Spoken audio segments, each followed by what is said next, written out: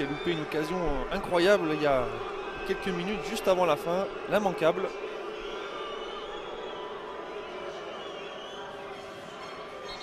J. Savanier qui n'était pas titulaire au coup d'envoi. On avait choisi de, de faire tourner pour le préserver. Il était sorti fatigué du match de championnat contre Dijon. C'est Joris Chotard qui avait pris sa place. À Liverpool, euh, TJ Savanier. Ah, C'était le temps, le temps que la- c'était là, le temps que l'arbitre explique bien aux gardiens qu'il faut rester sur la ligne et laisser au moins un pied sur la ligne avant que le ballon parte du point de pénalty. Rituel rappelle le règlement à Dimitri Berthaud et à Eddie Ellinger. Et il y va. C'est parti. C'est Savanier qui va commencer.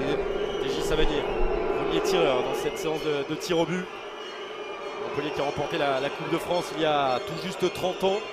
Dans cette équipe, il y avait Michel Derzakarian, il y avait Pascal Baïs. Et Montpellier dans la panade ici à Belfort, comme en 2018 lorsqu'ils s'étaient euh, déplacés en Franche-Comté contre euh, Pontarlier. Eh bien, ils avaient dû aller à la séance de tir au but. Il y avait eu un partout la fin du temps réglementaire. C'est Daniel Congré qui avait marqué le but montpellierin. Montpellier qui s'était euh, sauvé dans cette séance de tir. Le premier des cinq tireurs montpelliérains. Savanier, c'est dedans. C'était très très bien tiré. Et c'était. Linger était pas loin. Il était pas loin de. Pas loin du tout de la. de la claquer. Thomas Régnier sera le premier tireur pour Belfort. Thomas Régnier, jusqu'à présent, c'est 7 buts en Coupe de France. Le valeureux capitaine de Belfort. Ah, Qui a fait un très très gros match. Qui a été vraiment sur, sur le fond de l'attaque très présent. Il a, il a beaucoup pesé. Il a beaucoup couru. Thomas Régnier qui a, qui a marqué. Hein. C'était pas un tir au but, mais un, un penalty au, au tour précédent contre Nancy. Il avait marqué également un penalty lors de la victoire en 1-0 au sixième tour contre Louan Cuiseau. Face à Dimitri Berthaud. Partout Contre-pied. Il a attendu que, que Berthaud se couche et parte d'un côté pour, euh, mettre un petit pas du pied. C'est Anguille Delors. Montpellier a décidé de faire tirer en premier ses gros artilleurs. Après Savanier, Andy Delors qui se rapproche du point de pénalty. Et les sifflets des 4500 cœurs de Franche-Comté pour essayer d'impressionner le natif de 7. Eddie Ellinger face à lui, 18 ans. Il ne devrait pas faire dans la finesse, Andy Delors. Oh. Et c'est dedans Ouais, c'est cas de le dire. il n'avait pas, Belle boîte, au centre, en haut. il avait pas réussi à, à marquer. euh, Ça te fait sourire, dit, mais pourquoi j'ai pas fait ça tout à l'heure ah oui, oui, Ah oui, oui. mais c'est trop tard. Andy. Il n'a pas réussi à, Il y va Magasuba cadrer. Là, Il y va Magasuba Incroyable joueur qui a commencé milieu de terrain, qui a fini euh, arrière droit, qui a tout donné, 25 ans. Lui qui a commencé le, le foot à, à Drancy, le gros moteur de l'équipe. Mamadou Magasuba face à Dimitri Berthaud.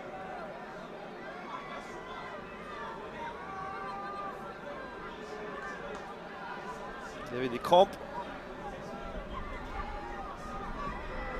Il n'a pas regardé Dimitri Berthaud. Magasuba.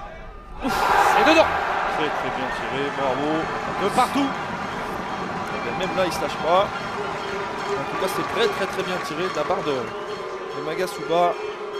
Junior Sambia sera le prochain tireur révolté. Juste ce qu'il fallait. Un peu plus, un peu plus haut que la mi-hauteur. Imparable.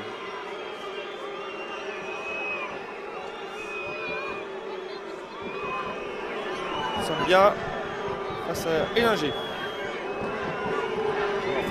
Lyon. Junior Sambia. Troisième tireur montpellierin. Eddie Ellinger en face. Oh, c'est dessus Belfort se rapproche des quarts de finale. Ah oui, le ballon est- s'est élevé et passé euh, vraiment largement au-dessus de, de la barre transversale. Ouh là là là là, le stade est en fusion et on voit le coach qui y croit. Enzo Grasso sera le prochain pour Belfort. Il est entré en jeu à la place de Bentar. Enzo Grasso. Ouais, qui a été actif de sa rentrée. Ouais, trois buts déjà en Coupe de France, décisif contre, contre Morteau. Euh, le président et le coach côte à côte dans la tribune. Ils sont pas bien là. ils sont pas ils, commencent à être de mieux en mieux. Au-dessus pour Sambia. On retrouve Enzo Grasso qui vient de poser son ballon. Gaucher. Face à lui, Dimitri Berthaud.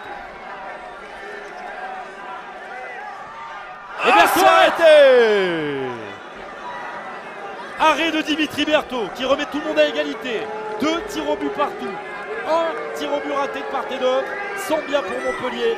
Grasso pour Belfort. Ah, match il se rend coup pour coup. Grasso là qui a pas très très bien tiré ce penalty, qui était cadré quand même, mais Berthaud est bien anticipé, il s'est bien couché sur ce ballon.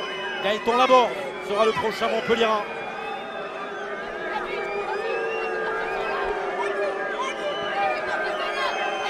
Guélinger qui euh, fait un albatros a écarté les bras pour prendre de l'envergure, pour gêner le tireur montpellierin. Gaëtan Laborde qui s'élance. Ça fait 3-2 pour Montpellier. Euh, contre-pied, pardon. Jason Rado sera le prochain tireur pour Belfort. Lui aussi, hein, il est en jeu.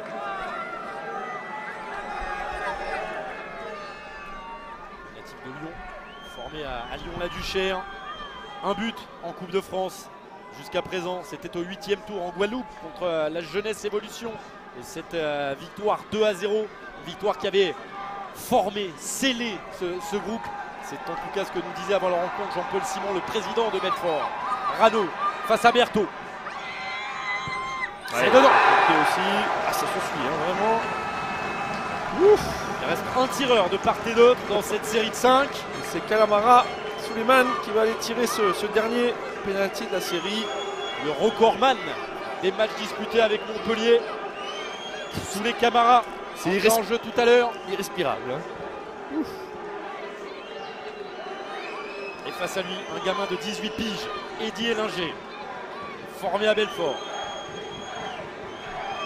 Là, il y a de l'écart entre les deux. Ah ouais, c'est, le, le plus jeune et le doyen. Alors, avec le jeune, le jeune qui est rentré encore qui était plus jeune. Ah, il y a- il y a Hilton. Efsan aussi. Ah oui, Hilton, on l'a oublié. âgé ouais. que Camara. Ouais, oui, c'est vrai. Enfin, je pense que Camara pourrait être le, le papa hein, de, de Eddie Ellinger.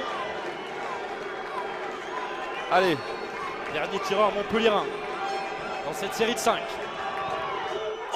Non, C'est dedans, non, mais c'était pas loin. Eddie Ellinger, pas loin de l'arrêter. Ah oui, il s'en veut là, pas loin du tout, du tout, du tout. Attention, maintenant tout va devenir décisif. Ah si oui. d'aventure, le joueur de Belfort, c'est-à-dire Lucas Cunin, rate, Montpellier est en quart de finale.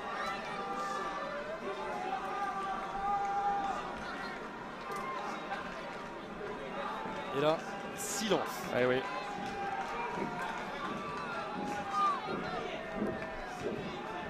Il vient de Bezac. Il connaît bien la, la Franche-Comté. Lucas Cunin. Un petit peu de temps à replacer son ballon. Berthaud qui en a déjà arrêté un. Ouais, C'est dedans. Sécurité, vraiment très très bien tiré. On va pas se quitter, 4 partout. Un nouveau Montpellierin qui va s'avancer. C'est Le Talec. Damien Le Talec dans cette série maintenant. À chaque fois, on le rappelle, mais vous connaissez le règlement. Là, c'est la mort Un subite. chacun, c'est la mort subite. Mais c'est euh, c'est incroyable ce match. hein. C'est rendu coup pour coup. Damien Le Talec a joué toute la partie. Numéro 5 de Montpellier. Vous connaissez le frangin, bien entendu, de, de Damien. Il aussi a fait une belle carrière professionnelle. Eddie Ellinger, Le Talec. Oh d'Ellinger 18 ans Eddie Quel arrêt magnifique d'Ellinger Une horizontale, main opposée Oh là là là là, parce que le penalty est bien tiré. Hein. Ça c'est vraiment un arrêt de du gardien. François. Eh oui. match pour Maxime Boischaud. Balle de qualification. Belfort est à un tir au but des quarts de finale. Oh, on va le revoir. Oh, super, super arrêt, vraiment magnifique. Et là, et là, et là, et là. Ouf, il n'y a plus de ballon. Ça, c'est Coup tiré. embêtant. Ça, c'est très embêtant. Il n'y a plus de ballon. Waouh. Il est où le ballon ah, Ah, il arrive. Un gamin là, qui est en train de, de courir. Il va essayer de faire une passe décisive. Ah, Il n'y a pas de passe décisive. Il y a eu l'interception pour Dimitri Berthaud. Ça y est, le ballon est dans les mains de Maxime Loiseau. Lui aussi, il est tout jeune. Ah oui. On ne peut pas faire plus franc-comtois que Maxime, le natif de Montbéliard, formé à, à Sochaux. Il n'a pas pu passer pro au très haut niveau. Maxime, il envoie la finale de la Coupe de France.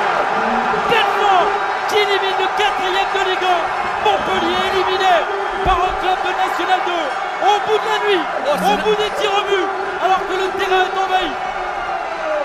Envahissement du terrain Ouah, quel régal cette Coupe de France